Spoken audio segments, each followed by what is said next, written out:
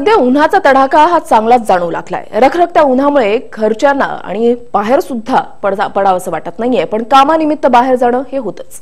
मुंबईमध्ये तर कमाल तापमान बेचाळीस अंशांवर केलेलं आहे. मुंबईमध्ये सलग दुसऱ्या दिवशी उष्णतेची लाट कायम असल्याची पाहायला मिळाली. आणि ही नुसती मुंबई शहराची स्थिती नाहीये तर राज्याच्या अनेक जिल्ह्यांमध्ये उष्णतेचा तडाखा जाणवतोय.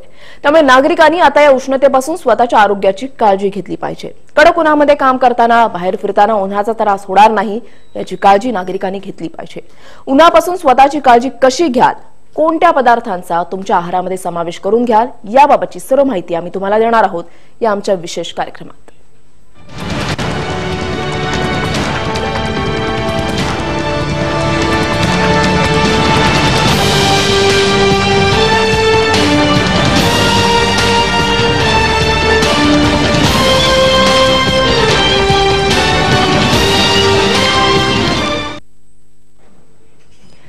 ठाणे जिल्ह्यामध्ये पुढील चोवीस तासात उष्णतेच्या लाटेचा प्रभाव अधिक वाढणार असल्यानं जिल्ह्याच्या कमाल तापमानामध्ये सुद्धा वाढ होणार असल्याचा इशारा प्रादेशिक हवामान विभागाकडून देण्यात आला पाहूया आपले प्रतिनिधी निकेश शार्थुल यांनी ठाण्यातल्या परिस्थितीचा घेतलेला आढावा.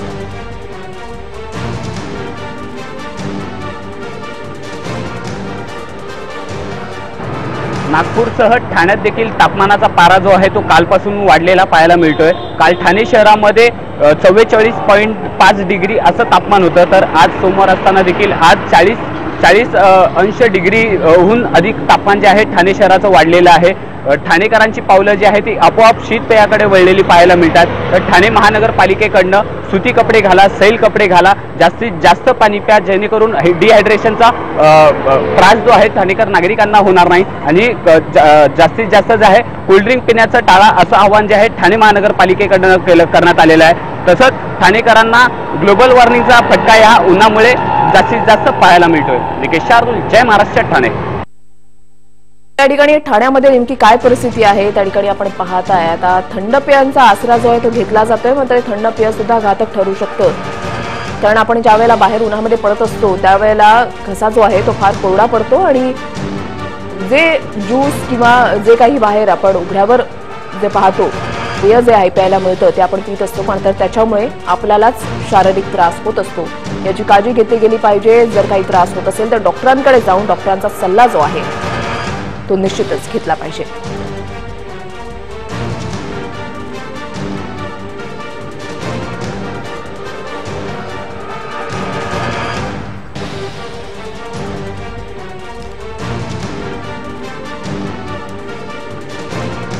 राज्यामध्ये उन्हाचा तडाखा वाढत चाललेला आहे. गेल्या दोन दिवसांपासून एक्केचाळीस अंश सेल्सिअसच्या वर तापमान मुंबईमधलं विशेषतः गेलेलं आहे. दोन हजार अकरामध्ये तापमान होतं एक्केचाळीस पूर्णांक तीन अंश सेल्सिअस आणि त्याच्यानंतर इतक्या वर्षांनी पुन्हा एकदा उन्हाचा तडाखा वाढलेला आहे. त्याच्यामुळे मुंबईकरांच्या शरीराची लाही लाही होताना आपण पाहतोय.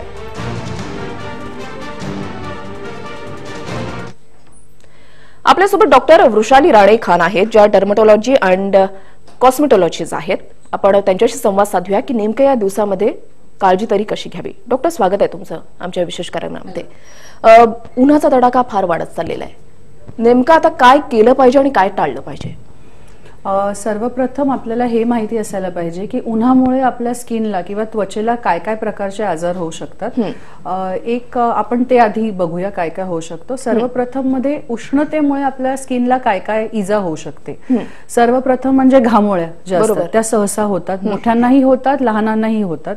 दुसरी गोष्ट म्हणजे हीट बॉईल्स जे आपण म्हणतो ज्याला म्हणजे फोड्या ज्या येतात पस भरलेल्या फोड्या ज्या असतात ते ते येतात. हे साधारणपणे लहान मुलांना येतात चेहऱ्यावरती तोंडाच्या आसपास पायांवरती वगैरे हे सहसा येतात.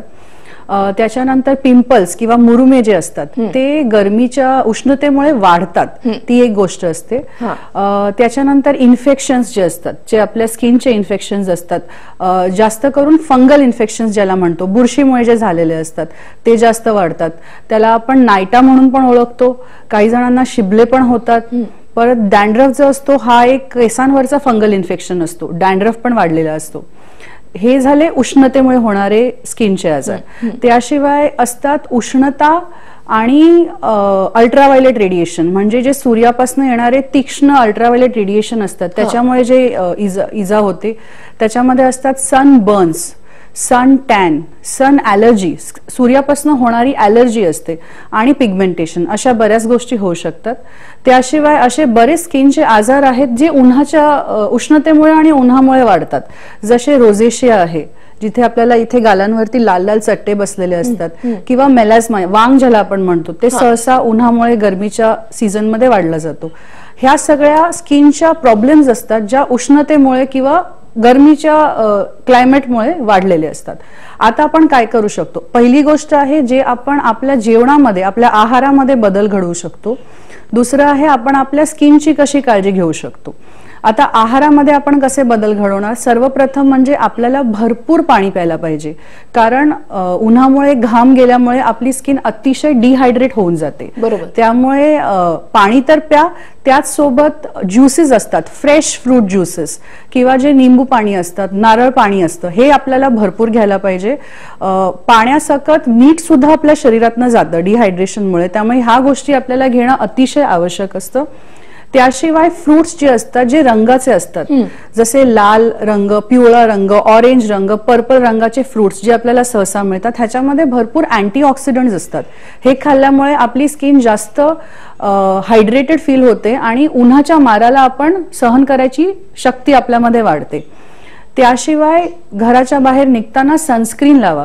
उन्हाचे जे सगळे ॲलर्जीज होतात किंवा सनबर्न होतो सन टॅन होतो हा अल्ट्राव्हायलेट रेडिएशनमुळे होतो.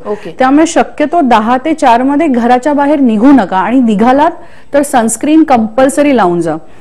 लोक साधारणपणे स्विमिंग पूल वॉटर पार्क ह्या ठिकाणी जास्त जातात गरमीच्या सीझनमध्ये पण ह्या ठिकाणी जाऊन आपल्याला सन ॲलर्जी अजून वाढू शकते. त्याशिवाय आपल्याला स्किनचे इन्फेक्शन पण वाढू शकतात. त्यामुळे जात असाल तर काळजी घेऊन जा. बरोबर. लूज कपडे घाला. फुल स्लीवचे कपडे घाला. कपडे कॉटनचे मलमलचे किंवा मस्लिनचे घाला. लूज घालायला पाहिजे. तुमचे अंडर गार्मेंट सुद्धा कॉटनचे असायला पाहिजे. ओके. दिवसातनं दोन वेळा आंघोळ करा. ओके. आणि आंघोळ केल्यावरती आपलं अंग व्यवस्थित पुसून घ्या.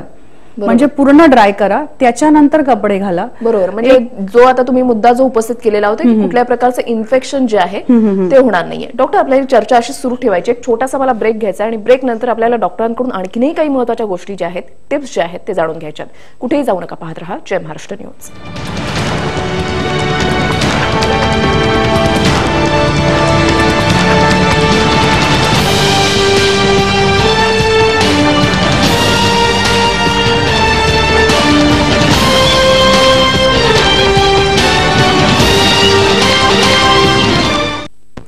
उष्म्याचा तडाखा हा दिवसेंदिवस वाढत चाललेला आहे. त्याच्यामुळे तुम्ही स्वतःची कशी काळजी घ्याल? त्यावरचा आमचा आमचा हा विशेष कार्यक्रम आहे. डॉक्टर ऋषाली राणे आहेत आपल्यासोबत. डॉक्टर म्हणजे आतापर्यंत आपण घरातून बाहेर पडल्यावर ऑफिसमध्ये जाईपर्यंत किंवा ऑफिसमध्ये एंट्री करेपर्यंत कशी काळजी घ्यायची? त्याच्यावर आपण चर्चा केली. मात्र एक महत्त्वाचा घटक असतो तो म्हणजे हाऊसवाईफ. ज्या पूर्ण वेळ घरामध्ये असतात. काही कामासाठी फक्त बाजारात जायचं असेल लहान मुलांना शाळेमध्ये सोडायचं असेल तर घराबाहेर पडत असतात. त्याचं टायमिंग पण शाळेच्या वेळेनुसार वगैरे असतं. तर हाऊसवाईफसाठी स्पेशल टिप्स काही आहेत का? की त्यांनी नेमकी घरामध्ये कशी काळजी घ्यावी स्वतःची? ऍक्च्युली बघायला गेलं तर हाऊसवाईफ्स ह्या एक अशा व्यक्ती असतात ज्यांना आपण सगळ्यात जास्त इग्नोर केलं जातं. ज्यांना सहसा स्वतःच्या काळजी घेण्यापेक्षा घरातल्या इतर लोकांच्या काळजीमध्ये सगळ्यात जास्त व्यस्त असतात. बरोबर. त्यामुळे सर्वप्रथम म्हणजे जे हाऊसवाईफनी करायला पाहिजे की स्वतःच्या त्वचेची स्वतःच्या आहाराची काळजी घ्या. जर तुम्ही जेवण बनवत असाल तर तुम्ही दोन तीन तास गॅस समोर बसलेले आहेत. सगळ्यात जास्त हीटचा प्रभाव तुमच्यावरती पडतो. बरोबर. तर एक कॅलमाइन लोशन म्हणून असतं जो एक बराच एक गुलाबी रंगाचं लोशन असतं जे आपल्याला उन्हापासून पण वाचवतं सनस्क्रीन सारखं पण काम करतं आणि त्याशिवाय आपल्याला थंडावा पण देतो. त्यामुळे जेव्हा तुम्ही कामाला बसतात किचनमध्ये असतात कामाला त्यावेळेला तुम्ही सर्वप्रथम म्हणजे व्यवस्थित तोंड धुवून घ्या सॅलिसिलिक ऍसिड फेस वॉशने म्हणजे तुमचा चेहरा एकदम कोरडा होऊन जाईल सगळ्या चेहऱ्यावरचं जे तेल असेल जे स्वेट असेल ते निघून जाईल त्याच्यानंतर ही कॅलमाइन लोशन लावा आणि मग तुम्ही काम करायला लावा. एक तुमची वेगळी बॉटल ठेवा ज्याच्यामध्ये तुम्ही ओ आर एस टाकलं असेल किंवा असं काही पावडर टाकलं असेल ज्याच्यामुळे तुम्हाला मीठ आणि पाणी दोन्ही मिळत जाईल. आणि जेवण करता करता हे तुम्ही सतत सिप करत राहा. बरोबर. स्वतःची काळजी तुम्ही घ्या. तुमच्या जेवण बनवताना तुम्ही द्राक्ष ठेवले तुमच्या जवळ किंवा असे कोणतेही फळं ठेवली जे तुम्ही इझिली खाऊ शकता. तुम्हाला कापून खायची गरज नाही. बरोबर. हे सगळं तुम्ही जेवण बनवताना ह्याची काळजी करत करत राहा. म्हणजे तुमच्या त्वचेची तुम्ही काळजी घेऊ शकता तुमच्या हेल्थची तुम्ही काळजी घेऊ शकाल. बरोबर. आणखीन एक महत्त्वाचा मुद्दा म्हणजे लहान मुलांचा. शाळेमधला युनिफॉर्म जो आहे तो फिक्स असतो. म्हणजे आता जसं आता तुम्ही सजेस्ट केलं की फुल स्लीव्हचे कपडे घातले पाहिजे आणखीन काही. मात्र लहान मुलांचे युनिफॉर्म ते फिक्स असतात. पीटीचा क्लास असेल तर लहान मुलांना गार्डनमध्ये जाऊन त्यांना खेळावं लागतं सगळं काही. मग लहान मुलांच्या आहारामध्ये काही बदल केला गेला पाहिजे का? किंवा लहान मुलांची काही काळजी घ्यावी का? त्यांच्यासाठी काही सनस्क्रीन किंवा काही आहे का? लहान मुलांचे सनस्क्रीन नक्कीच असतात. पण सनस्क्रीनचं कसं असतं तुम्ही आता सनस्क्रीन लावून त्याचा असर दोन ते तीन तासच असतो. त्यामुळे जर तुम्ही सकाळी सहा वाजता शाळेला पाठवतायत आणि मुल मूल जर अकरा वाजता ग्राउंडवरती किंवा पार्कवरती जाणार असेल तर त्याचा फार तर उपयोग होत नाही. आणि लहान मुलांना हे पण समजवणं की तुम्ही जायच्या आधी सनस्क्रीन लावा हे थोडंसं कठीण असतं. बरोबर. त्यामुळे पहिली गोष्ट म्हणजे जर तुम्ही रोज मुलाला एक बॉटल पाणी देत असाल तर आता दोन बॉटल द्या? तुमचं जे टिफिन तुम्ही लहान मुलांना देताय त्याच्यामध्ये काही हेवी पदार्थ देऊ नका. थंड थंडावा देणारे पदार्थ द्या टिफिनमध्ये ठीक आहे? त्याशिवाय लहान मुलांना आईस्क्रीम किंवा हे पेप्सी कोला ह्या खायची सवय असते. ते प्रयत्न करा की हे सगळ्या गोष्टी तुम्ही स्वतः घरी बनवाल कारण बाहेर ह्या गोष्टी खाल्ल्याने तुम्हाला घशाचं इन्फेक्शन होऊ शकतं सर्दी होऊ शकते निमोनिया पण होऊ शकतो बरोबर. त्यामुळे ह्या सगळ्या काळजी तुम्ही घ्या आणि जर तुमच्या मुलाला समजत असेल सनस्क्रीन कसं लावायचं असेल तर एक सनस्क्रीनची छोटीशी ट्यूब त्याच्या बॅगेत ठेवून द्या ओके. आणि आंघोळ आंघोळ करूनच शाळेत पाठवा. शाळेतनं आल्यावरती लगेच परत आंघोळ करा. आणि एक थंडावा देणारा पावडर जो असतो आजकाल आपल्याला खूप मिळतात असे थंडावा देणारे पावडर ते लावूनच मग मुलांना पाठवा. ओके. घरी असतील तेव्हा शक्यतो एसी मध्ये किंवा थंड वातावरणामध्ये ठेवा. खेळायची वेळ संध्याकाळची ठेवा. दहा ते चारमध्ये खेळायची वेळ ठेवू नका. म्हणजे असं काहीतरी करा की मुलं घरात बसून खेळतील. म्हणजे हा घामोळा जे असतात ज्या उन्हामुळे होणारे प्रॉब्लेम्स असतात ते नाही होणार. बरोबर. आणि नंतर कॅलमाइन लोशन हे तुम्हाला सहज कुठे पण मिळतं. हे तुम्ही मुलांच्या पाठीवरती वगैरे लावा. म्हणजे त्यांना तो मिलेरिया किंवा प्रिकली हिट जे म्हणतो ते बनणारच नाही. बरोबर. डॉक्टर आता तर मुली ज्या आहेत त्या खूप काळजी घेतच असतात. म्हणजे घरातून बाहेर पडताना पूर्णपणे तोंड झाकणं त्याच्यानं गॉगल्स लावणं हे सगळे काळजी घेत असतात. मात्र तरी सुद्धा त्वचेचे आजार काही ना काही होतात किंवा चट्टे उठतात किंवा स्किन जास्त टॅन होते. पिंपल्सचा प्रॉब्लेम हा तर सर्वात जास्त होतो. मग अशा वेळेला मुलींनी कशा पद्धतीने काळजी घ्यावी? नुसतं कव्हर करून चालेल का? म्हणजे तुम्ही मगाशी जसं म्हटलं सनस्क्रीन लावणं फार बंधनकारक आहे. मात्र सनस्क्रीन लावल्यावर सुद्धा काही काही वेळेला काळजी घेऊन सुद्धा टॅन होते स्किन पिंपल्स येतात. मग त्याच्यावर सोल्युशन काय? पहिली गोष्ट म्हणजे सनस्क्रीन जे आहे त्याचं एसपीएफ तुम्हाला माहिती असायला पाहिजे. एक मेडिकल ग्रेड सनस्क्रीन असायला पाहिजे ज्याच्यामध्ये युव्ही ए प्रोटेक्शन आणि युव्ही बी प्रोटेक्शन ह्या दोन्ही गोष्टी असायला पाहिजे. साधारणपणे जी नॉन प्रॉब्लेम स्किन असते त्याला एसपीएफ थर्टी हे पुरेसं असतं. थर्टी एसपीएफ आणि युव्ही ए टू प्लस हे पुरेसं असतं. त्याशिवाय तुम्ही जे मेकअप यूज करताय ते मेकअप तुम्ही कमीत कमी वापरा. तुम्ही लिक्विड फाउंडेशन वापरा. तुम्ही मूस फाउंडेशन वापरू नका. तुम्ही ड्राय पावडर वापरा कॉम्पॅक्ट वापरू नका. ओके. ठीक आहे? काही जणांना हेवी ऑइल्स लावायची सवय असते रात्रीच्या वेळेला. की जे अँटी एजिंग असतं किंवा एक स्किन ग्लो व्हाइटनिंग ऑइल असतं हे लावायची सवय असते. हे असे ऑइल्स असलेले प्रोडक्ट्स तुम्ही वापरू नका. तुम्ही कोणतंही कॉम्पॅक्ट कोणतंही प्रोडक्ट तुम्ही जेव्हा मार्केटमधनं घेता तेव्हा त्याच्यावरती बघा की नॉन कॉमेडोजेनिक किंवा नॉन क्लॉगिंग हे लिहिलेलं असेल तरच हे प्रोडक्ट्स घ्या. त्याशिवाय मॉइश्चरायझरचा उपयोग कमीत कमी करा. मॉइश्चरायझर तुम्हाला गरज असेल तर वापरा अदरवाईज तुम्ही वापरू नका. सनस्क्रीन तर वापरायलाच पाहिजे आणि सनस्क्रीन दर दोन तीन तासांनी तुम्हाला रिपीट करणं आवश्यक आहे. जर तुम्ही beach swimming pool water park अशा ठिकाणी जाणार असाल तर तुम्हाला वॉटर रेझिस्टंट सनस्क्रीन वापरणं जरुरी आहे ज्याचा इफेक्ट फक्त एक तास असतो. मग तुम्हाला एका तासाने ते परत वापरणं भाग्य जरुरी असतं. मुलांसाठी स्पेसिफिकली हेअर जेल्स वापरतात हेअर स्प्रे वापरतात हेअर स्टाईल करण्यासाठी. बरोबर. बऱ्याच वेळेला हे हेअर जेल लीक होऊन इकडे येतात आणि अशा मुलांना तुम्ही बघाल की ह्या किनाऱ्यांवरती केसांच्या किनाऱ्यांवरती छोटे छोटे छोटे छोटे पिंपल्स यायला लागतात. बरोबर. तर अशा वेळेला त्यांना स्पेसिफिकली हे सांगण्यात आलं जातं की जर तुम्ही आज हेअर स्प्रे लावलेला असेल तर आजच तो वॉश करा. तुमचा जर दिवस दिव- दिनक्रम जेव्हा तुमचा संपला असेल तर तो लगेच वॉश करून टाका. अदरवाईज तुम्हाला हे असे पिंपल्स यायला लागतील. आणि त्याशिवाय आहारामधल्या त्या गोष्टी मी आधीच सांगितल्या आहेत. बरोबर. डॉक्टर आणखीन एक महत्त्वाचा मुद्दा की हे तर झालं अं, मुलींचं ज्या वेळेला चाळीस पंचेचाळीसच्या वयाच्या नंतर सुद्धा म्हणजे आजी आजोबांना सुद्धा सनस्क्रीन लावणं बंधनकारक असतं किंवा त्यांची काही वेगळी काळजी घेण्यासाठी काही टिप्स आहेत का? की जो रुटीन तुम्ही आता सांगितला की आहारामध्ये बदल त्याच्यानंतर मॉइश्चरायझर चालत असेल तर लावणं त्याच्यानंतर सनस्क्रीन लावूनच बाहेर पडणं तर हे आजी आजोबांसाठी सुद्धा तेच नियम लागू होतात की डॉक्टरांचा सल्ला घेऊनच पुढचं पाऊल त्यांच्यासाठी उचलावं हे योग्य असतं? कारण या वयामध्ये आजाराची संख्या सुद्धा वाढलेली असते. बरोबर. कसं असतं? वृद्ध लोक जे असतात किंवा चाळीस पंचेचाळीसच्या वरती गेलेली लोक असतात ते सहसा ह्या वेळेमध्ये घराच्या बाहेर पडत नाहीत. त्यामुळे त्यांच्यामध्ये जास्त करून मी हे सजेस्ट करते की तुमच्या आहारामधल्या गोष्टी जास्त पाळा. सनस्क्रीन्सपेक्षा आहारामधल्या गोष्टी.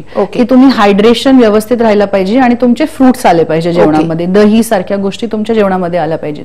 दुसऱ्या गोष्टी डायबिटीज मॅलायटस जे टाईप टूचं असतं टाईप टू डायबिटीज असतं हे कॉमनली चाळीशीच्या नंतर दिसून येतं. तर ह्या लोकांमध्ये फंगल इन्फेक्शनचे चान्सेस जास्त असतात. ओके. त्यामुळे तुमचे शुगरचे तपास व्यवस्थित वेळेनुसार करा. जर तुम्हाला डायबिटीज असेल तर त्याला व्यवस्थित मेंटेन करा तुमच्या डॉक्टरांकडे जाऊन. आणि जर तुम्हाला फंगल इन्फेक्शन झालं डायबिटीज असताना तर जर एखाद्या माणसाला सहा आठवडे लागणार असेल बरे बरं व्हायला तर डायबिटिकला बरं व्हायला तीन महिने लागतात बारा आठवडे लागतात. ओके. ह्याची तुम्ही तेवढी काळजी घ्या. ओके म्हणजे सर्वच अनुषंगानं म्हणजे ते महिलांपासून ते लहान मुलांपासून ते वयोवृद्ध आजी आजोबांपर्यंत नेमकी कशी काळजी घ्यावी? कोणकोणत्या वयामध्ये नेमकं काय काय घडू शकतं होऊ शकतं? ह्या या उन्हाचा तडाखा जो आहे तो कसा आपल्याला बसू शकतो? या संपूर्ण याच्यावर डॉक्टरांनी आपल्याला खूप चांगल्या चांगल्या पद्धतीने या ठिकाणी मार्गदर्शन केलेलं आहे. छोटासा ब्रेक घेणार आहोत आणि ब्रेक नंतरही आपल्याला ही चर्चा त्यांच्यासोबत अशी सुरू ठेवायची आहे. कुठेही जाऊ नका पाहत राहा जय महाराष्ट्र न्यूज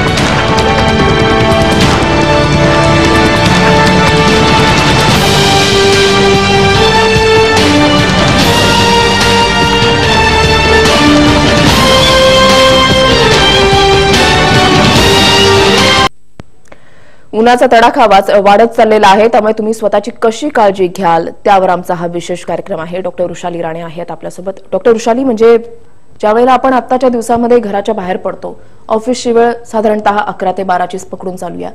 बाहेर पडल्यानंतर घशाला कोरड पडते. सोबत पाण्याची बॉटल असते मात्र रस्त्यावरचे जे ठेले असतात त्या ठिकाणी ज्यूस सेंटर असतात ते प्यावं असं वाटतं. तर ते पिणं कितपत सेफ आहे? अजिबात सेफ नाहीये. हा. ह्याचं मुख्य कारण हे आहे की साधारणपणे आपण जे ठेल्या ठेल्यांवरती बघतो ज्यूस सेंटरवाले असतात किंवा लस्सी ताकवाले जे असतात. ते थंड कसं बनवतात? त्यांच्या ज्युसेसना बर्फ टाकून बनवतात.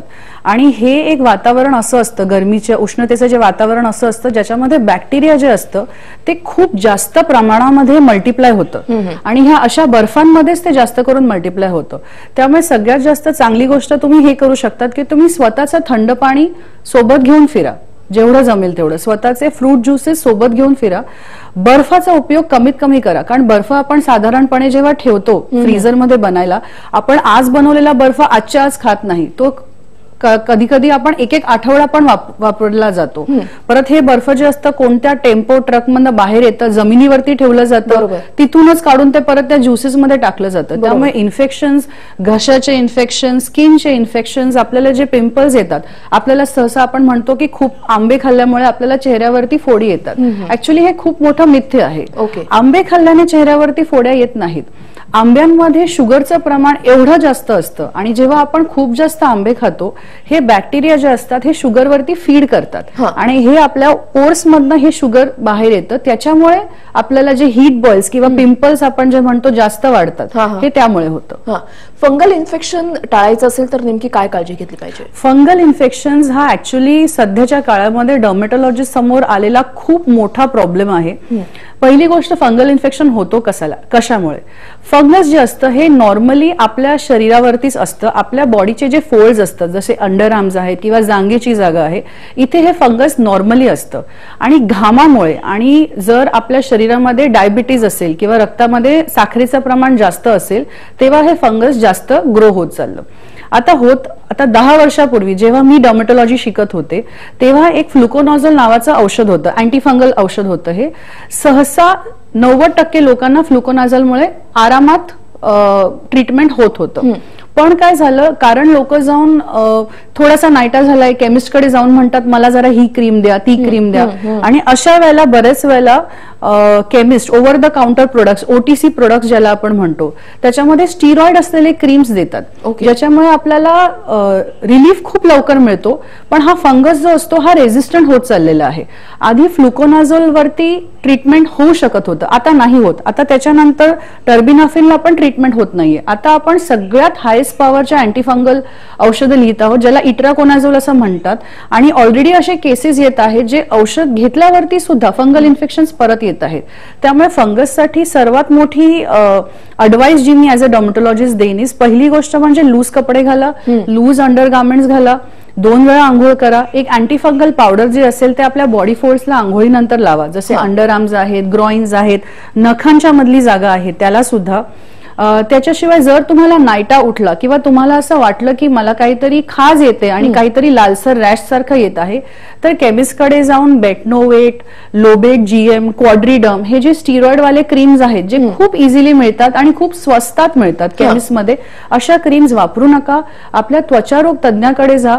कारण आता इट्राकोनाझोलपेक्षा वरचं अँटी फंगल आलेलं नाहीये मार्केटमध्ये आणि ऍज अ डॉमॅटॉलॉजिस्ट आम्हाला ट्रीटमेंट करणं खूप डिफिकल्ट होत चाललं आहे. कारण हे जे ओटीसी प्रोडक्ट्समुळे फंगल इन्फेक्शन वाढत चालले आहेत रेझिस्टंट होत चालले आहे हे खूप डेंजरस ट्रेंड आहे. खूप. डेंजरस एक आणखी एक महत्वाचं डॉक्टर की आता ऑफिसेसमध्ये काम करत असताना मोस्टली आपण पाहतो की ऑफिसेस हे पूर्णपणे एसी असतात. करेक्ट बाहेर खूप कडक ऊन असतं. उन्हातून ज्या वेळेला ऑफिसमध्ये एंट्री करतो त्यावेळेला म्हणजे अक्षरशः डोकं गरगरून जायला होतं. बरोबर तर अशा वेळेला एसी मधल्या वातावरणामध्ये थोडंसं स्टेबल होण्यासाठी आपल्याला त्रास होऊ नये यासाठी प्रत्येकाने काय काळजी घेणं गरजेचं आहे आणि तेच ऑफिसमधून बाहेर पडताना सुद्धा. नेमकी काय काळजी घेतली पाहिजे? सर्वप्रथम म्हणजे जर टेम्परेचर चेंज असतो ना हा एकदम असा ड्रास्टिक नाही असला पाहिजे की आपण खूप गरमीतनं येतो आणि एकदम आपण अठरा डिग्री सेंटीग्रेड एसी मध्ये जाऊन बसतो हे व्यवस्थित नाहीये. वर्क प्लेस वरती गेल्यावरती पहिली गोष्ट म्हणजे तुम्ही पंखा चालू करून थोडं वातावरण थंड करून घ्या. तुमचा एक ग्लास पाणी पिऊन घ्या. तुमचं जे काही फ्रेश वॉटर ज्यूस असेल किंवा जे काही नारळाचं पाणी तुमच्याकडे असेल ते तुम्ही पिऊन घ्या.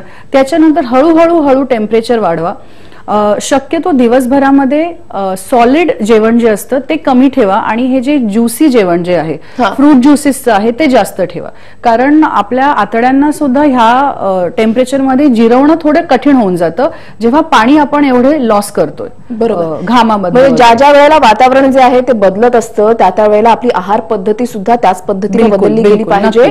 आणि शिवाय योग्य ती काळजी घेतली पाहिजे मात्र नक्कीच डॉक्टरांच्या सल्ल्याने डॉक्टर तुम्ही या ठिकाणी आलात आणि खूप चांगलं मार्गदर्शन केलं त्याच्याबद्दल आपले आभार. थँक्यू वेळ झाली इथेच थांबण्याची. तुम्ही पाहत राहा. जय महाराष्ट्र न्यूज.